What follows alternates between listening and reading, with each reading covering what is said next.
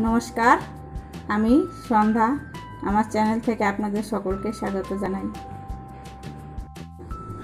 আজকে আমি বানাবো কাঁচা আমের টক ঝাল, মিষ্টি, আচার বা জেলি।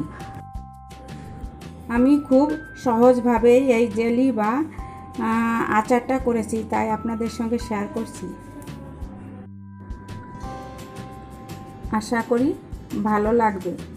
ভালো লাগলে লাইক শেয়ার ও সাবস্ক্রাইব করে পাশে থাকা অনুরোধ রইল। আপনাদের পাশে থাকা আমার অনেক অনেক জরুরি।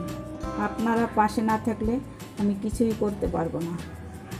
তবে দেখা যাক আমি কেমন করে করি। চলুন।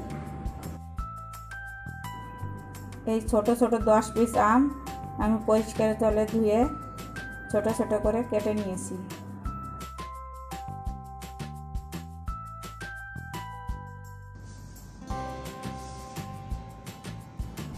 এখানে কাটা আম যে বাটিতে রেখেছি, যতটা আম হয়েছে ততটা চিনি নেব। এখন একটা পাত্রে আম আর চিনি রেখে আমি ঢেকে রেখে দেব চার ঘণ্টার জন্য।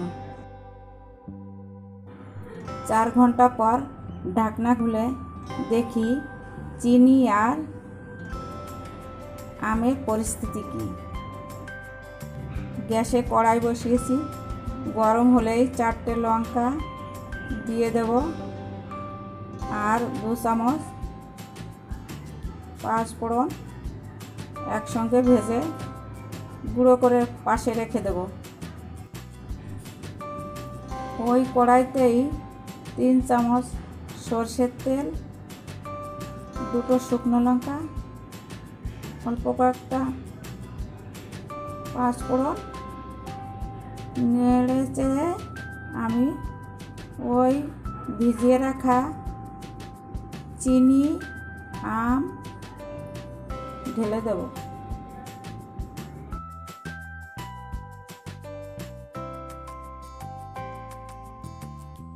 ঢেকে ঢেকে মিডিয়াম গ্যাসে রান্নাটা করব।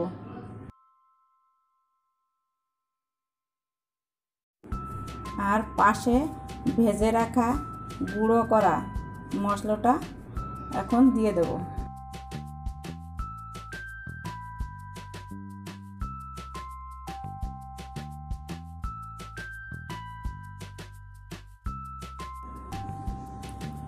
এইভাবে পাঁচ সাত মিনিট রান্না করার পর আমি হাতা দিয়ে আমগুলোকে একটু ভেঙে দেব।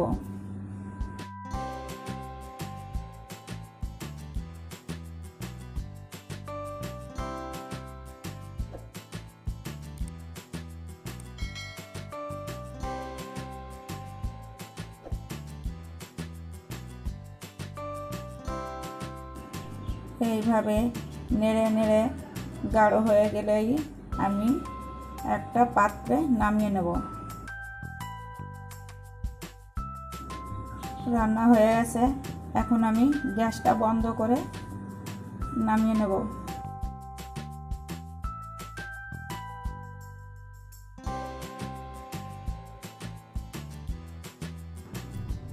কাঁচা আমের এই টক ঝাল, মিষ্টি আচার বা জেলি সকলেরই পছন্দ।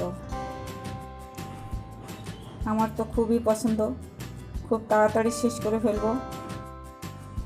তাই আপনাদেরও অনুরোধ করছি, ঘরে পড়ে থাকা আমগুলোকে আমার মতন সহজভাবে ঘরেতেই